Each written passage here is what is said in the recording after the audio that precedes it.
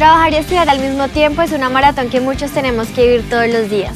Lo bueno es que Zenú y sus nuevas albóndigas en salsa hacen que mis almuerzos sean mucho más ricos y fáciles para dejar de preocuparme por el tiempo.